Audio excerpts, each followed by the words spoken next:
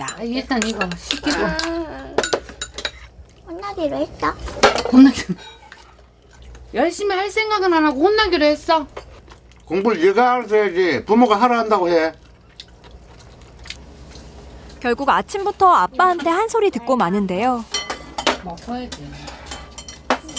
미리 아 그래 엄마가 해놓으라 했을 때 했었으면 아빠한테 안 혼나잖아 아침부터. 아침부터 학교 가면서 꾸지람 들으면 좋냐? 엄마도 다 못해. 숙제도 다 못했는데 지각까지 하면 안 될 것 같아 서둘러 학교 갈 준비를 합니다. 신랑 챙겼냐? 미처 못한 숙제 때문에 발걸음이 무겁습니다. 하지만 학교에 가니 반가운 소식이 기다리고 있었는데요.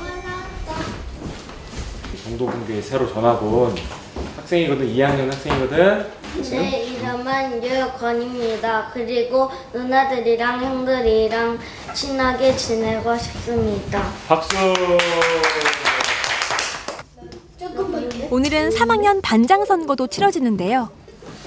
지금 3학년 2반은 지금 누- 몇 명 있지? 두 명 있죠? 두 명은 투표를 통해 가지고 한 명의 반장을 선출을 할 거야 아, 긴장된다. 자 받으면 보여주지 않고 이름을 한번 적고 적으세요 저 이름을 적어도 돼요? 자기 이름 적어도 되고 딴 사람 이름 적어도 되고 이 둘 중에 한 사람의 이름을 적으면 됩니다.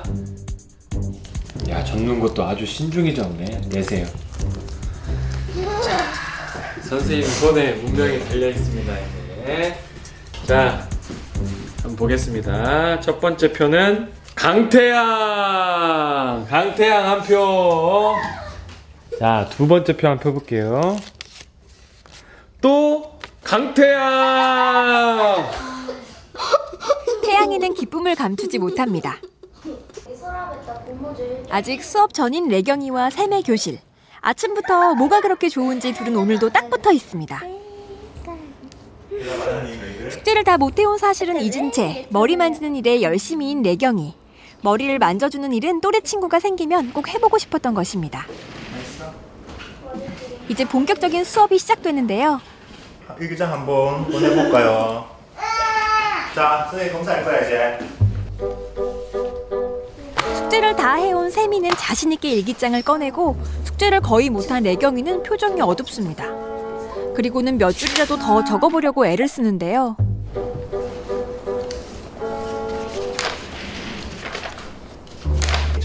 천천히 다 읽어볼 거야. 네? 선생님, 당연히 다 읽어봐야지. 음, 일단은 선생님이 천천히 한번 다 읽어봐야지. 내경이 안 볼까? 내경아, 왜 14일로 공책이 왜 이래? 어? 장래경, 몰라요. 일기가 세 줄밖에 없어. 나도 게 있어. 대신 일기는 정말 추억이 되거든. 나중에 너희가 읽어보면 몇 년 뒤에 읽어도.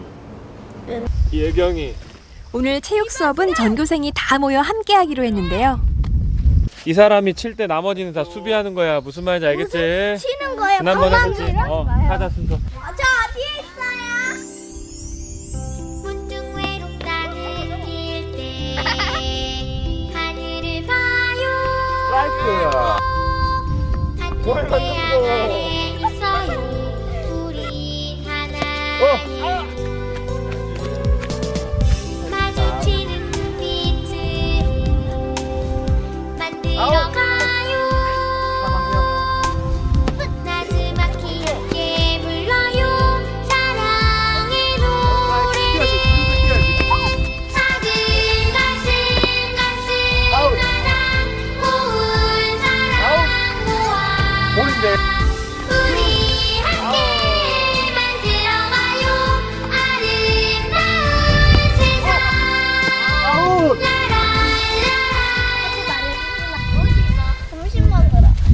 학교 수업이 끝났지만 태양이는 다시 학교로 돌아옵니다.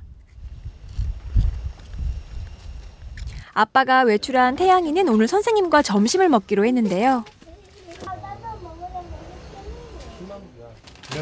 식사를 챙겨주시는 선생님들.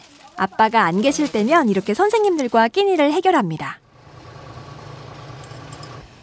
학교 생활부터 집안일까지 속속들이 알고 있는 선생님들.